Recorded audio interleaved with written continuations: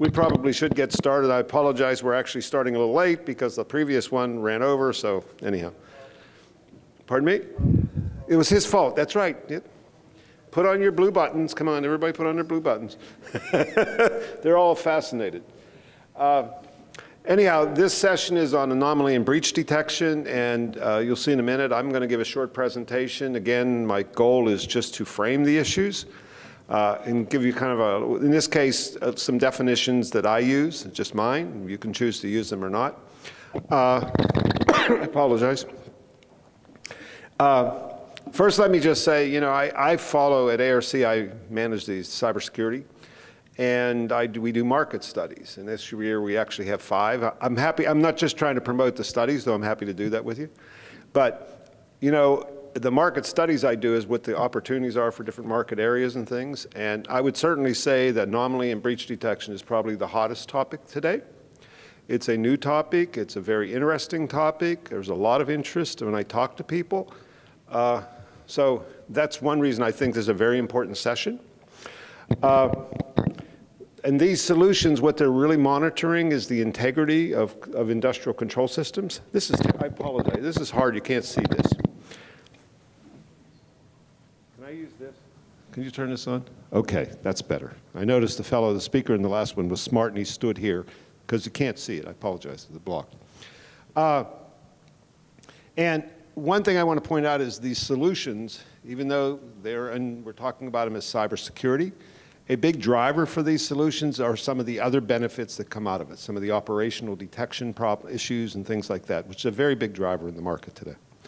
Uh, now, within ARC, I use the term here anomaly and breach detection, and this is just my own definition, so you can take it for what it's worth, I guess.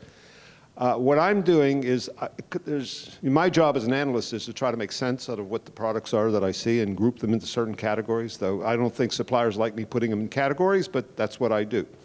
And for my purposes, what I did is I took those two terms and I talk about breach detection solutions, and what I mean by that are solutions that look for anomalous behavior within an endpoint.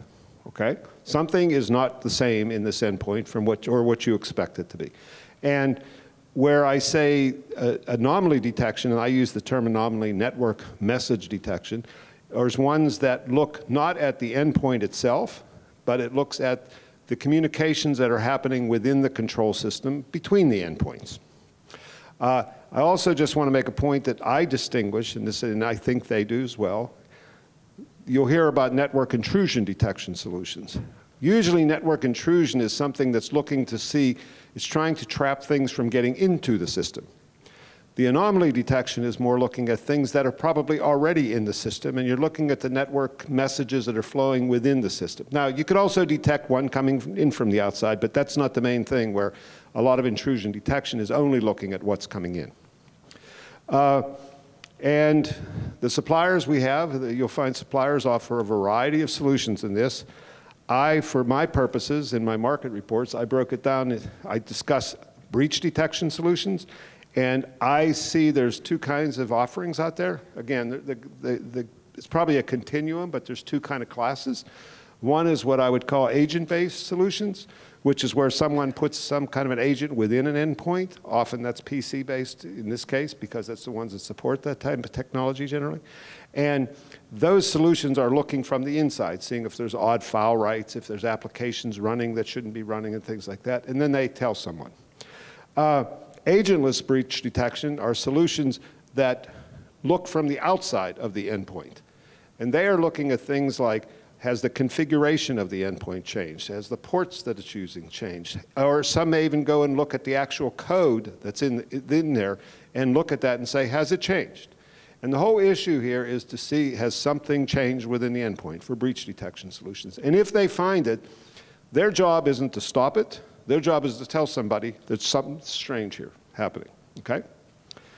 Uh, when we talk about anomalous message I'll just call it anomaly detection, but I, what I'm focusing on is solutions that look at the messages that are flowing within the networks. Uh, generally, they are passive type of solutions, so they're actually going off a span port or something. They don't have to be, but they generally are. It's a popular thing. And I have two cases there. One is I call policy-based anomaly detection, and that is one that somehow, however it's done, someone has established certain policies that basically say, this endpoint's allowed to talk to that endpoint with certain, certain protocols, certain registers, whatever, but they are established policies. And then the detection is just trying to, is going to let you know if they ever see anything that happens outside of the allowed policies. It's kind of an application whitelisting type, or network message whitelisting is another way to talk about it. The other kind are ones that are I call behavior-based. And those are the ones where you have a solution that is monitoring the network, and maybe it may do this continuously or it may do it in a training phase, but it looks and it automatically builds trees or some type of a technology, and there's all kinds of technologies, to establish what is the normal flow of messages within this network. Who talks to who, what do they do, what is normal? So they collect that, and again, there can be statistical filtering, there can be neural networks, there's all kinds of solutions that could be done. Uh, but in those solutions, they may run continuously and constantly update that.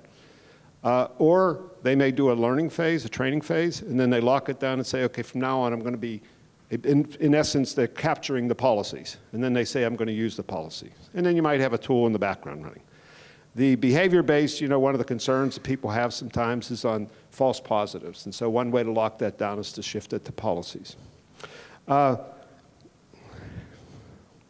now, the kind of features, so that's the solutions that we see in the market. Uh, the kind of features when I talk to end users, what are they looking for? Uh, first of all, a very important thing, and I mentioned a moment ago, is they're looking not just for cybersecurity. I mean, that's, that might be the driver for getting it, but they're looking for anything that doesn't operate the way I expect it to operate. You know, one nice thing in control systems is we have well-defined things that we want to do just what we program to do. Nothing more, we just want them to do that. So if they're doing something that they shouldn't be doing, you want to tell someone. And their job is to alert. Now, many of the times when they're not doing the right thing, it may be an operational issue. It may be the device is failing. It may be that an operator made an error. Somebody may have made a change. So those things would still be detected. So one of the big benefits I see, and, I, and the end users seem to very much appreciate, is the benefit, to me I like it, it's almost like a monitoring system of the automation system. It's looking at the top and just saying, there's something different in this system. And when you detect that, the issue is to tell somebody, and then if nobody was supposed to be changing anything and you find something changed, you have a problem. If if you know that Fred just went out and was supposed to be changing something and it tells you that thing just changed, you say, okay, I understand what that is. Uh, the other, another issue is this thing of minimal impact on the control system. Uh, most things, particularly this is the network, but both, network monitoring and the breach detection, most end users say, I want to have this feature, but I don't want to have you do anything that affects the way my system operates. So for the network monitoring systems, it's generally you run it off a span port or something like that to try to make it a purely passive solution. Uh, and you also want to minimize the false positives. You don't want it telling you, driving you crazy, telling you that these things are wrong and you don't have time to troubleshoot. We just had a previous session about the lack of people in essence, and so you certainly don't want to aggravate that issue. Uh, another thing that people seem to be looking for is solutions that offer contextual support. And when I say that, they just don't want, it's, they don't want to get messages like you get just from a SIEM, just a, this thing there. They want to understand what happened, when it happened, what's the context of how it happened. Ideally, I think a lot of operators would tell me they want something to say, hey, this PLC just changed in this program and, and somebody just changed this register or this uh, alarm limit or something like that. Uh, and then the, another thing is they want these solutions to integrate with other cybersecurity management solutions. And you know, when I say that, there's kind of two aspects. One is to integrate the alerts that are generated with a SIEM system, a system that someone is going to use to do incident management or to investigate it. Uh, another one that I see seems to be getting more and more popular, and I was joking before with some people, is, as I mentioned, a very big thing is passive. And I saw head shaking, by the way. I don't know if you all at the table saw it, but people's heads were shaking. Yep, we don't want anything in there that changes anything. And so they usually ask the suppliers, are you sure that this won't affect anything? Yes. And they'll say yes. And then the next question that comes out of the operator's mouth is, okay, now if you detect something, can you stop it from, can you stop it? And you know, so it's a completely conflicting thing. But one thing I find very interesting is now a lot of the anomaly detection solutions in particular are starting to try to integrate in with firewalls so that you could, in a passive, you can run passively and then maybe modify the, the policies within the firewalls and things. So it's a very interesting thing, very emerging kind of issue. Now, with that said, uh, I've been doing this in every session. Uh, if you were at the workshop yesterday, you'll see I have a slide with all of the, the sponsors for our forum.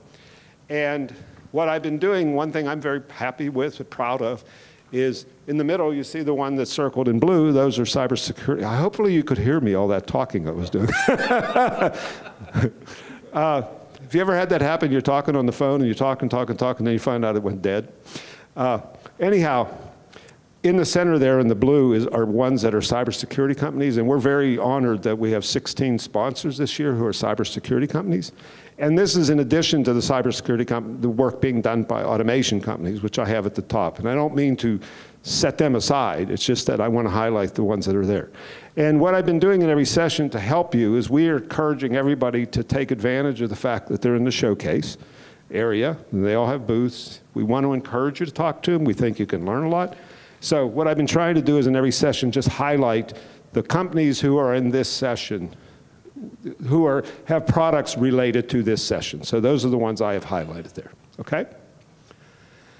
Uh, and, and let me just comment, I just did a market study on this, and I would say these are the leading companies in the world on that, so I'm very happy of that too. And I'm sure they're all very happy to hear me say that.